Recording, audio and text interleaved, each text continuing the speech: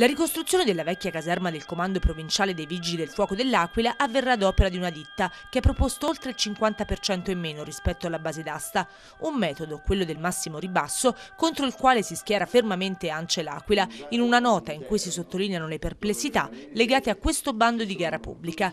La commissione di gara, scrivono, dopo aver escluso la prima in graduatoria, perché ha giudicato anomali il ribasso proposto del 65,3%, ha deciso di assegnare lavori di un importo complessivo, lo ricordiamo, di 5,4 milioni di euro, alla seconda classificata, che ha proposto invece un ribasso d'asta del 57,5%, ritenendolo congruo. Ancora una volta, commenta il presidente dei costruttori aquilani Gianni Frattale, un'importante gara pubblica viene istruita secondo il criterio discutibile e ormai impopolare nella cultura delle costruzioni del massimo ribasso. Viene spontaneo chiedersi quale congruità possa ravvisarsi in un ribasso che supera abbondantemente della metà gli importi previsti dal prezziario regionale, già di per sé non pienamente adeguato ai costi correnti e per questo in via di aggiornamento. Ci auguriamo, ha detto Frattale, che tutto questo non porti conseguenze per i lavoratori, i fornitori, la qualità del lavoro e dei materiali, la sicurezza nei cantieri e anche per la pubblica amministrazione. Ci aspettavamo che dopo tanti ritardi e difformità nell'iter di appalto della caserma dei Vigili del Fuoco, che continuano da anni a lavorare in strutture inidonee, si arrivasse ad un'assegnazione dei lavori esemplare che non desse adito ad ulteriori dubbi.